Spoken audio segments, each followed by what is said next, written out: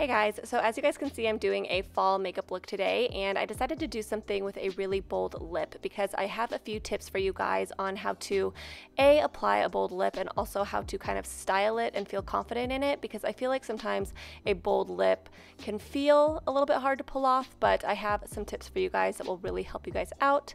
So we are going to go ahead and do that in this video. So as you guys can see, I just started out with a moisturizer. It is the Yes to Blueberries moisturizer, and it is amazing. I love it. And then on top of that, I did the Smashbox Petal Metal Shimmer Spray, which is a really nice, like, shimmery base. And I just like it because it kind of gives you like a nice illuminated look to your skin. And then I went in with the Catrice Cosmetics HD Liquid Coverage Foundation over the top of that. And I've been loving this foundation lately. Um, I'm doing a shimmer eye in this look, so I really wanted to go matte with the foundation just to kind of like balance everything out. So I just blended that out with a beauty blender. And then I went in with my Cushion Wonder Color Corrector Concealer by Hard Candy. And this is my favorite concealer ever. and if you haven't tried it yet, you guys, you have to.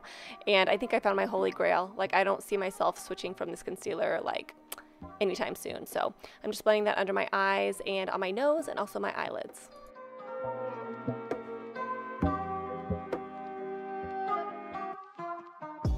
Then I'm just going to take my NYX Mineral Matte Finishing Powder. I'm going to buff that into my skin just to mattify everything even more. And I love this stuff. It's amazing. It's kind of been my go-to powder lately.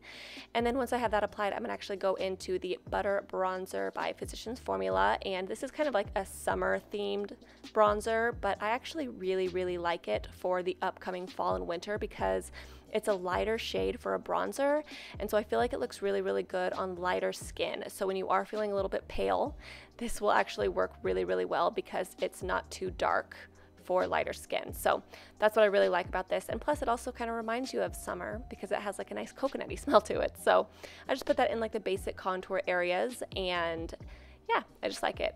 And then the Urban Decay Backtalk palette, I'm actually going into this pinkish kind of I don't know, would you consider that coral? It's kind of corally, I guess. Um, but I'm putting that onto my cheeks and my apples of my cheeks. I've been really liking applying my like blush to the apples of my cheeks lately. And then I'm going to be taking this beautiful highlighter by Smashbox and I'm actually applying that to the cheekbones and then also like right above my eyebrow. And I really like this color as well because it has a little bit of a pink undertone to it. And I'm kind of going with like a pinky plum theme for this makeup look just to kind of tie everything together. And then my little trick that I've been doing lately is taking my favorite, favorite highlighter, which is the Glow Goals by Nikkie Tutorials. And I do a little bit right there under my eyes, like the apples of my cheeks and it looks really, really pretty right there because it's so like pigmented and strong. So there you saw, I did my eyebrows off camera. Didn't want to bore you guys. And then I'm taking this palette by Bare Minerals, and I love this palette. It's beautiful. It's the Rose eyeshadow palette, and I'm taking this really pretty like rose gold color and putting it on my lids. And I'm just using my finger because I feel like if you want a lot of pigment, you use your finger and you get a really nice like even coverage over your eyes. And then I'm taking this kind of gray brown and I'm putting that in the crease.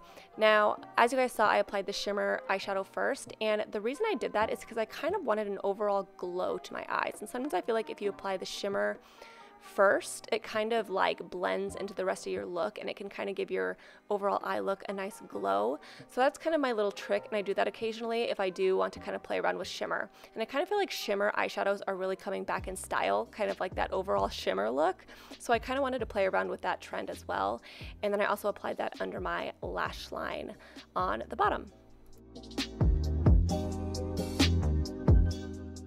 Alright guys, now I'm going into this dark brown gray color and I'm just going to blend that out really softly on that top lash line to make it look like a little, a little bit of like smudgy eyeliner, I guess.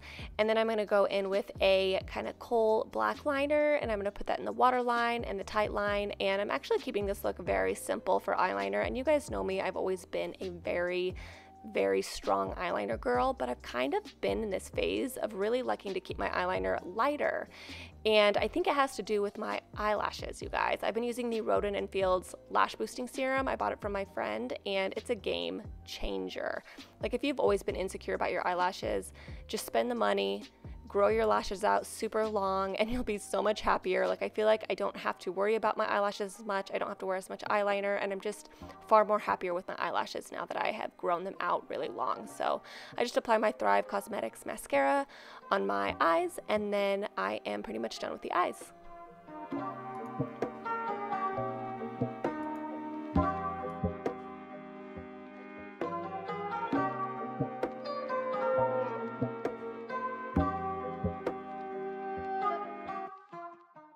Alright you guys, so now for the bold dark lip. So I usually take a oil of some sort and then a washcloth and I just rub my lips like this just to exfoliate any of the dead skin cells off. I feel like this is like the lazy girl's version of exfoliating. like I don't use a scrub or anything like that, but I feel like it works really well.